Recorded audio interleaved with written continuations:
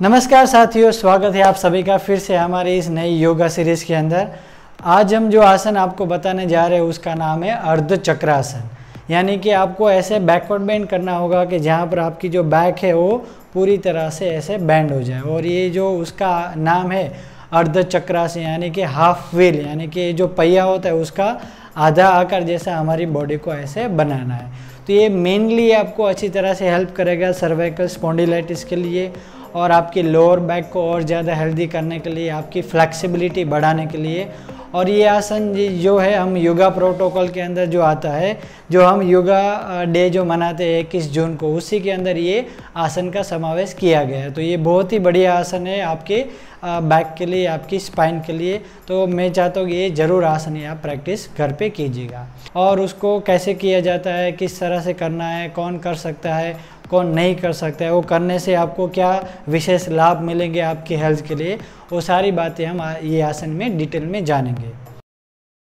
अर्ध चक्रासन इस आसन को करते समय आपके शरीर की स्थिति आधे चक्र जैसी, यानी पहिए के समान गोलाकार में आ जाती है। इस आसन को करने के लिए सबसे पहले सीधे खड़े हो जाएँ और अपने दोनों हाथों से अपनी कमर को सहारा दें।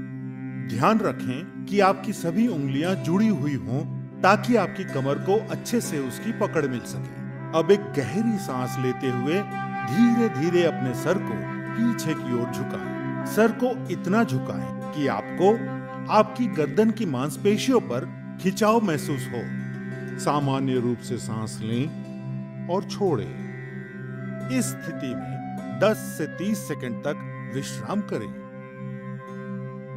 अर्ध चक्रासन आपकी रीढ़ को लचीला बनाता है। मेरु तंत्रिकाओं यानी स्पाइनल नर्व्स को मजबूती प्रदान करता है। ये आसन सांस लेने की क्षमता को बेहतर बनाता है और सर्वाइकल स्पॉन्डिलाइटिस यानी गर्दन के दर्द में भी आराम देता है। पर याद रहे, इस आसन को करते समय उच्च रक्तचाप यानी हाइपरटेंशन या हाई बीपी के रोगियों को सावधानी से झुकना चाहिए।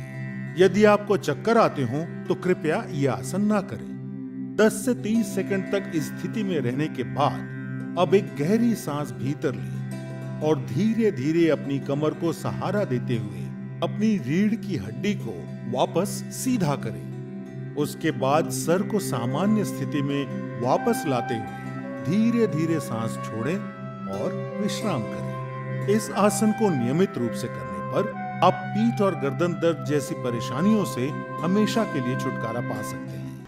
तो दोस्तों, आपने देखा कि ये आसन किस तरह से किया जाता है। अगर आपको ये आसन अच्छा लगे तो प्लीज़ लाइक कीजिए और ये वीडियो को ज़्यादा से ज़्यादा शेयर कीजिए। नीचे कमेंट में आप बताइए कि आपको किस तरह के और हेल्थ वीडियो देखने हैं मेरी तरफ़ से तो मैं आपको और वीडियो अपलोड करते रहूँगा और आपकी हेल्थ को और इम्प्रूव करने के लिए मैं आपके लिए हेल्प करता रहूँगा। और प्लीज़ मेरी चैनल को सब्सक्राइब कीजिए, नीचे लाल बटन को प्रेस कीजिए ताकि मेरे आने वाले जो वीडियोस है वो आप तुरंत ही अपने चैनल पर देख पाए। Thank you very much.